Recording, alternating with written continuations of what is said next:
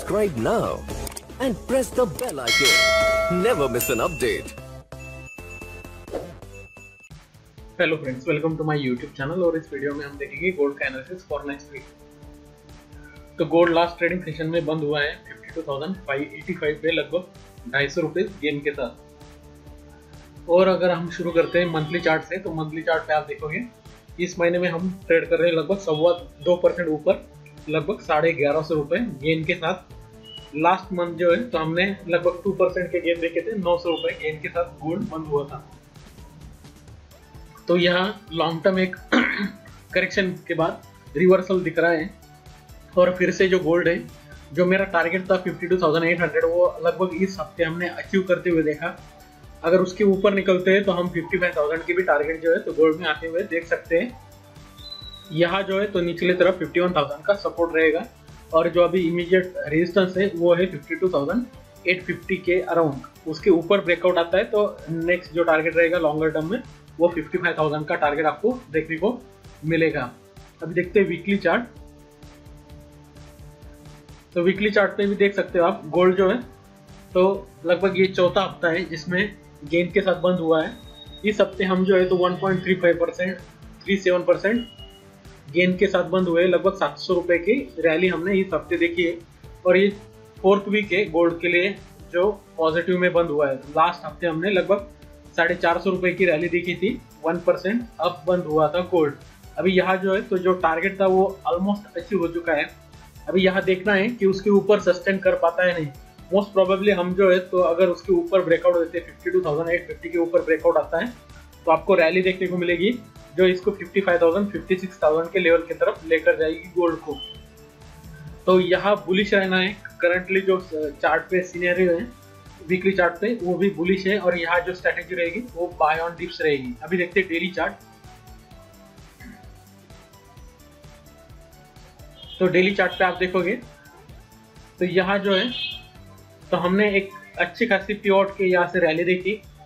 जो 52,150 का टारगेट था वो अचीव किया। उसके बाद में लगभग जो 52,800 का टारगेट है वो भी लगभग लगभग अचीव कर चुके हैं। अगर उसके ऊपर ब्रेकआउट आता है तो यहाँ जो है तो 52,800 850 का जो लेवल है वो बहुत क्रुशियल है। On daily also on weekly chart तो उसके ऊपर ब्रेकआउट आता है तो हम जो है तो शॉर्ट टर्म में 53,750 का टारगेट देखेंगे। और लॉन्गर टर्म में 55,000 का आपको टारगेट देखने को मिल सकता है। तो यहाँ आपको करंटली वेट एंड वॉच करना है। 52,800 जो लेवल है वो मेजर रेजिस्टेंस है अगले हफ़्ते के लिए अगर वास रिवर्सल आता है तो आपको करेक्शन देखने को मिलेगा। उसकी पॉसिबिलिटी बहुत कम है। मुझे लगता है कि यहाँ ब्रेकआउट ही आएगा। मगर आपको वेट एंड वॉच करना है और ब्रेकआउट आने पर लॉन्ग करना है जो जिसका स्विंग टारगेट रहेगा। शॉर्ट टर्म में 53,750 अगर और मीडियम टू लॉन्गर टर्म में जो है तो 55,000 के टारगेट आप एक्सपेक्ट कर सकते हो। 52,800 फिर उसके बाद में जो है तो एज अ सपोर्ट का काम करेगा। और यहाँ जिस तरह से अभी यहाँ प्राइस पैटर्न है मोस्ट प्रोबेबली आपको जो है तो ऊपर के लेवल गोल्ड में आते हुए दिखेंगे। तो यहाँ बाय ऑन डिप्स व्यू रहेगा। यहाँ जो है तो 52,150 के ऊपर शॉर्ट टर्म में लॉन्ग व्यू बनाना है या फिर बाय ऑन डिप्स स्ट्रेटेजी रखनी है। जो स्टॉप लॉस रहेगा वो 52,150 के नीचे रहेगा। टारगेट रहेंगे 52,800 उसके बाद में जो है तो 53,750 के टारगेट आप शॉर्ट टर्म में गोल्ड में एक्सपेक्ट कर सकते हो। तो यहाँ शॉर्ट टर्म में भी आपको बाइंग की सलाह रहेगी। मोस्ट प्रोबेबली यहाँ आपको जो है तो करेक्शन शायद ना देखने को मिले। करेक्शन आता है तो उसको जो है तो हम स्टॉप लॉस के साथ बाइंग ही करेंगे। अराउंड सपोर्ट जोन और एक छोटे स्टॉप लॉस के साथ जो है तो आप जो टारगेट रखने हैं वो रहेंगे 52,850 या फिर 800 और उसके बाद में जो है तो 53,750 के स्विंग टारगेट आप शॉर्ट टर्म में एक्सपेक्ट कर सकते हो। लॉन्गर टर्म में 52,800 के ऊपर आपको 55,000 के टारगेट ओपन हो जाएँगे गोल्ड में। तो वीकली चार्ट पे भी बुलिश मंथली चार्ट पे भी ऑलरेडी फॉलोअप बाइंग देख रहे हैं और ये जो है तो ये आने वाले समय में कंटिन्यू रह सकते हैं। तो यहाँ भी बुलिश सिनेरो है और हो सकता है कि हम जो है तो फिर से जो हाई जो टच किया था हमने 55,000 56,000 के जो हाईस्ट थे पिछले साल जो हमने रिकॉर्ड किए थे उसके तरफ़ धीरे धीरे गोल्ड बढ़ रहा है।